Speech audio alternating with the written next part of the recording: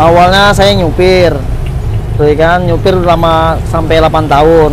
Eh terus bosnya meninggal. Akhirnya mutusin dah dagang kayak begini nih. Gitu. Udah dagang begini ya udah tekunin begini. Alhamdulillah jadi berkah. Sampai nggak punya duit buat makannya susah. Untung ada temen yang baik satu orang tuh.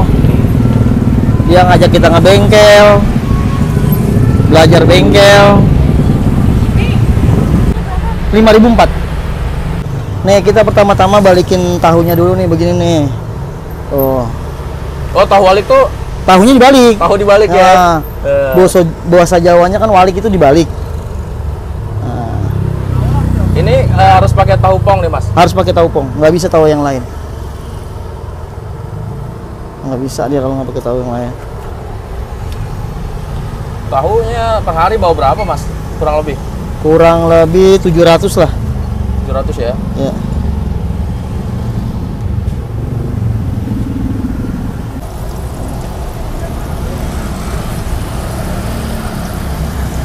Ngasihnya nggak usah ditakar-takar langsung aja. Oh, nah. Sekiranya udah cukup. Udah nggak muat tuh di sini tuh. Oh gitu ya. Jadi nggak perlu takar-takar ya. nggak usah entah kalau ditakar-takar rezekinya ditakar juga. Iya bener Mas. Hmm. ngasih orang kita dagang nih.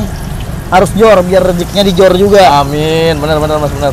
itu kunci kunci saya ya. Nggak tahu orang lain dagang mah. Kalau saya dagang ngasihnya jangan ditakar-takar.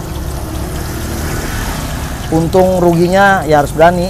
Supaya rezeki kita nggak ditakar nggak ditakar juga. Itu hukum orang dagang kalau kita ngasih orang ditakar-takar ya rezeki kita ditakar-takar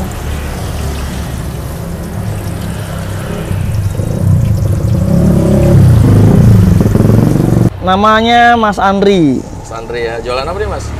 tahu walik sama lumpia Semarang Mas Uh, dagang sekali goreng cuma setengah jam lakunya setengah jam. iya Ini tahu walik setengah jam habis. habis satu kali goreng sebenarnya mah kalau kalau dihitung-hitung jam ya paling 4 jam selesai dagang 4 jam habis tuh ya. ya yang lama ini ini aja Hmm.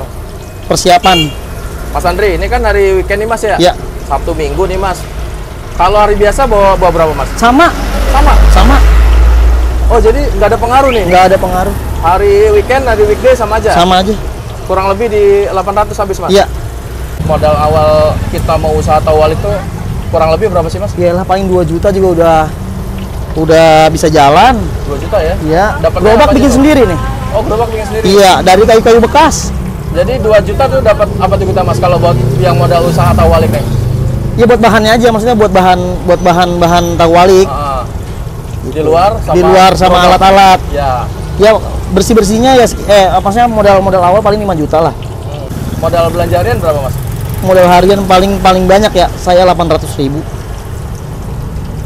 paling banyak 800 ribu tuh kalau dijadiin ke omset kotor berapa tuh mas? Kurang lebih mas? 2 juta lah 2 juta ya? ya Berarti eh, 40-60 ya mas ya? ya bisa juga jadi 80 20 juga sebenarnya bisa. Bisa.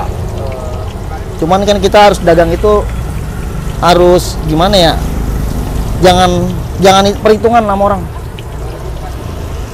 ini kan 5004 kadang-kadang kita tambahin Hmm, bukan kita kadang-kadang sih memang harus ditambahin jadi jangan takut jangan takut Mas, ya? rugi Ah, dagang kalau udah kayak gini insya Allah untung Insya Allah ya. Hmm.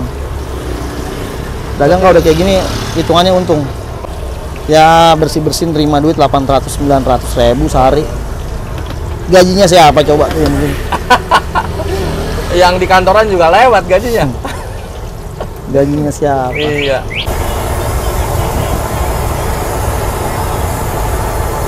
Iya.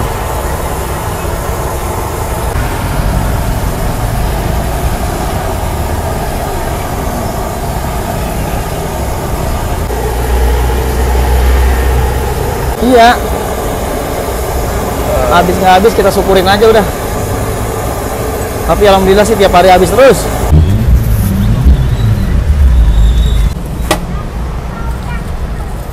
Baru mau goreng lagi. Ah, Ini proses lagi ngegorengnya. Kompornya kecilin dulu tapi Hmm, Sebelum ini- sewajan gini nih mas kapasitasnya berapa tahu mas? sekitaran 70 sampai 80 tahu lah. 70 sampai 80 tahu. Tergantung ininya juga sini. Apa? Kapasitas dari minyaknya juga. Iya. Semakin banyak minyaknya, sema- semakin banyak juga kapasitas buat ngegorengnya. Gitu. Nah, ini dikit lagi nih, kayak gini nih. Tuh, ini kalau mas- masih kayak begini nih belum kering banget. Bentar lagi. Terus gancang.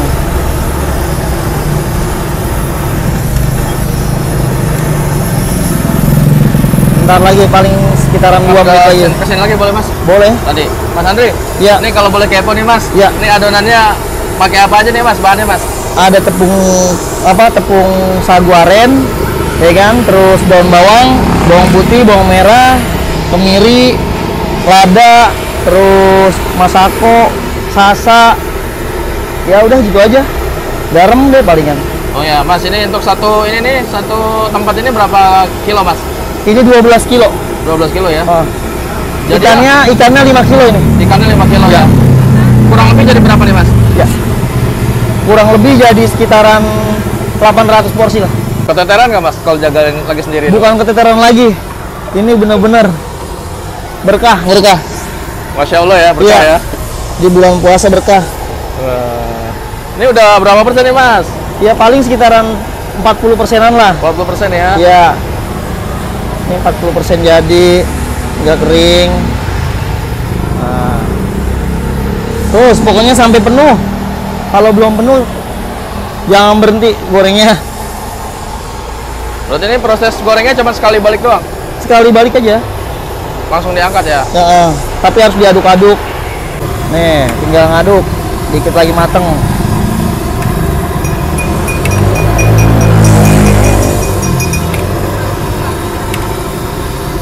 Oke, angkat sekarang. Matang nih mas. Ya, angkat. Angkat guys. Ya. Mantep guys. Oh dia Eh, ini kalau ikannya banyak pasti hitam warnanya kelihatan. tandanya apa sih mas Andri? Kalau udah matang tahu balikin nih? Ya ininya kering udah, tahunya. Tahunya kering ya. Nah, Harum ikan ini mas ya? nah, warung banget udah ikannya. Masya Allah. Ini ikannya harum banget, soalnya ikannya banyak. 5 kilo sendiri. Bentar ya Pak.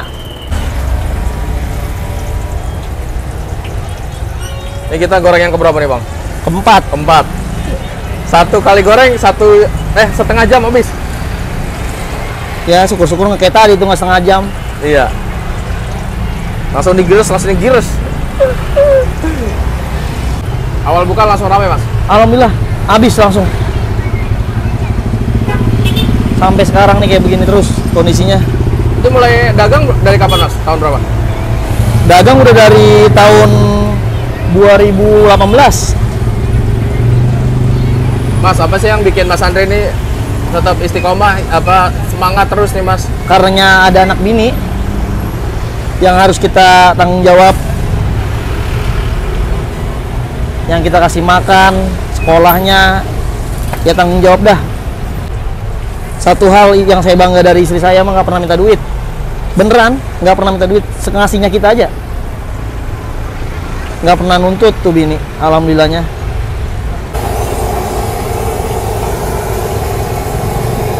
Dari tadi penuh, sekarang udah tinggal seperempat nih Mas. Bukan seperempat lagi nih mah nih. Paling tiga perempat ini mah. Tiga perempat lagi nih ya. Iya. Paling berapa kali naik lagi nih Mas? Dua kali lagi lah. Dua kali lagi habis ya. habis yang pertama jangan sampai bohong sama bini dah masalah duit rezeki pasti seret bang Gitu ya Bang ya. iya udah pasti bang hidup jangan kebanyakan bohong sama bini Pesan ke mana nih? pesan aja lewat lewat WA Nomornya ada di bawah sini Mas. ah ya bawahnya di sini nih ada nih ntar dicantumin ya Ah. langsung aja japri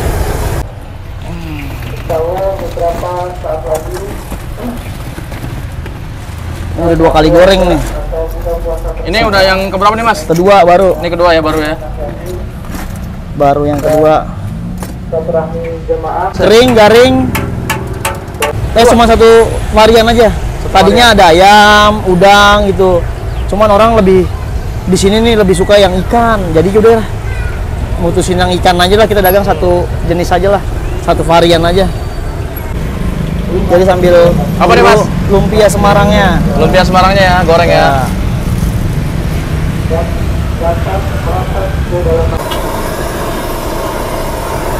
Masuk berapa sih mas? Kalau satu penggorengan gini mas, lumpia? paling 40 40 ya. ya asal lempar aja Tips atau motivasi nih mas buat teman-teman kita nih mas yang baru usaha apa nih mas? jangan nyerah kalau lagi sepi doa terus banyakin doa. Tapi jangan sampai lupain emak. Kalau mau usaha tuh kita harus minta restu dulu dah sama orang tua. Biar jalan enak. Gitu. Tapi yang paling pertama yang paling paling utama mah sama Allah. Sekeras apa pun kita usaha kalau Allah belum menentukan kita jangan terus pantang menyerah. Terus minta ntar lama-lama Allah bosan sama kita terus minta pasti dikasih. Pasti dikasih jalan nggak mungkin nggak. Harapannya apa nih mas ke depan sama usahanya mas? yang pasti terus jalan walaupun kecil-kecilan terus jalan. Bisa ngebiayain anak istri aja udah itu aja